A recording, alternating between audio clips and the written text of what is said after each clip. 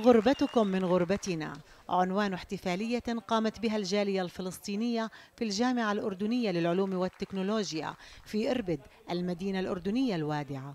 حيث كانت دعوة على فطور جماعي للطلبة الفلسطينيين في الجامعة وبجهود طلابية فردية خالصة ممزوجة بإخلاص لا يوصف.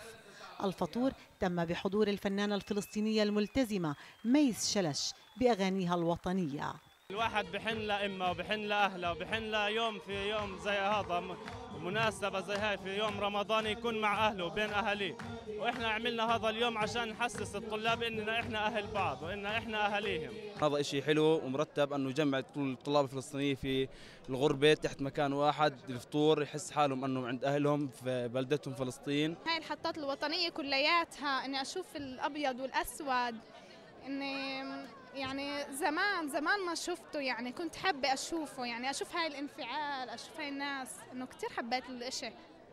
لحظة الغروب يفطرها الفلسطينيون هنا في الخارج. إشراقة فجر تبدد يأس الأيام التي باعدت ما بين الجسد والروح. هنا يعيدون الحياة لرائحة طعام أمهاتهم في البلاد ويتشاركون نفس الطبق كما اشتركوا في الحلم والنجاح والتألق. بنحاول نقدم أحلى صورة عن فلسطين وعن وضعنا اللي تحت رغم كل الوضع اللي إحنا فيه إلا إنه في عندنا ثقافة في عندنا تعليم في عندنا كل شيء بنقدر يعني نتغلب على هاي الصور. الفلسطينيين موجودين كان سواء كانوا بفلسطين ولا هون إلنا صوتنا وإلنا كلمتنا وإن شاء الله راجعين. سواء هاي الشغلة بنأديها أو بنوجهها للعالم بعلمنا أو حتى بكلمة ولحن وأغنية أو أنشودة.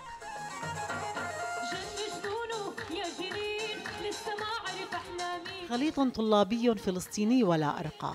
طلاب الضفة وغزة والثمانية وأربعين جسدوا فلسطينهم على طريقتهم وكانت لمة خير.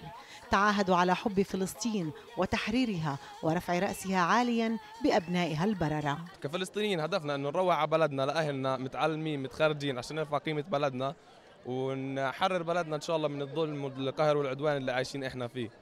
بس ونعكس صوره طيبة عن الفلسطينيين سواء كانوا في الأردن أو في أي دولة عربية شقيقة أو أي دولة أجنبية. لسه معناها الانتماء وقضيتنا لسه موجودة جوانا حتى وإنه صارت الظروف إنه إحنا في بلدان أخرى لكن هذا ما بينسينا فلسطين. ومن خلال هاي الحفلات وتفاعل الشباب والصبايا بتحسي وحفظهم للأغاني كمان وترديدها إنه فلسطين ما زالت موجودة ورح تضل موجودة إن شاء الله أكيد. ها هم يتقاسمون لحظات الفرح. كما كتب علينا كفلسطينيين أن نتقاسم طعم المرارة.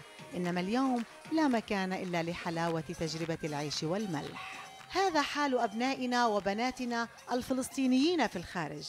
يؤكدون على الدوام بأنهم خير سفراء لفلسطين أينما حلوا وأينما ارتحلوا. سناء مفلح تلفزيون فلسطين إربد.